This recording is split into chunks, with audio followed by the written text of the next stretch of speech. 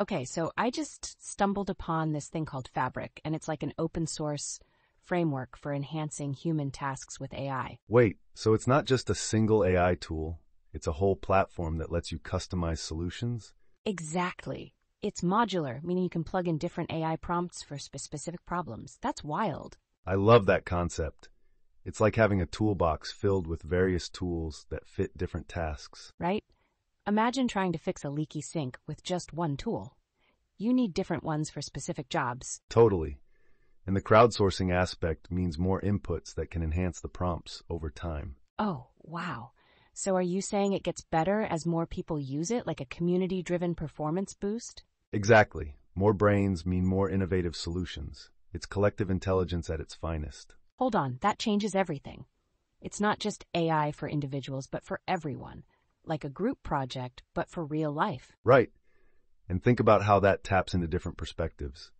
More ideas can lead to better solutions. But wait, what if someone creates a prompt that's super niche? Will it still fit into this system?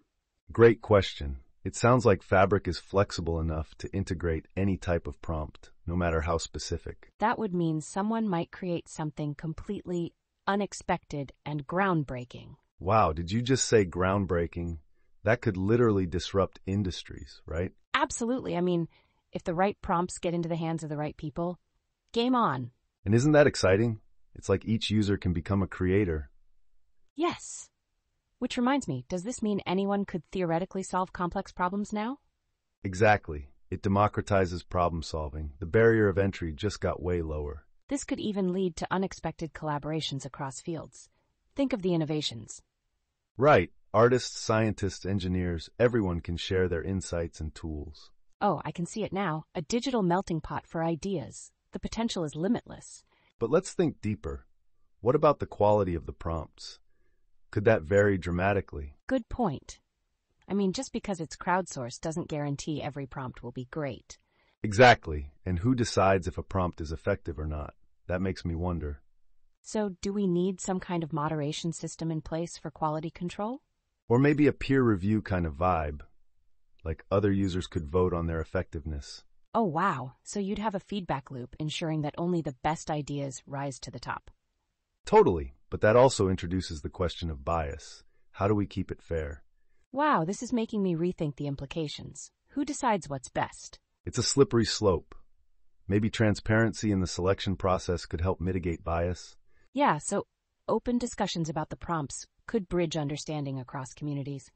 And if everyone is engaged, you foster a culture of collaboration rather than competition. That gives me chills. Imagine an ecosystem built entirely on shared knowledge. That's actually kind of inspiring. It could ignite innovation we haven't even imagined yet. Exactly. But then you have to wonder what happens when bad actors show up. Oh no, that could derail everything. Some people might try to game the system. So the challenge becomes not just creating the tools, but ensuring healthy usage of them. Right. And we haven't even touched on data privacy and ethical considerations. Good point. Balancing innovation with ethics is going to be key in all this. Okay, so if we put all this together, it's like a beautiful dilemma, right? Totally. Navigating it could shape the future of human AI collaboration. And if we can make it work, the potential benefits could be revolutionary. So, what do you think is the biggest implication of Fabric for everyday users?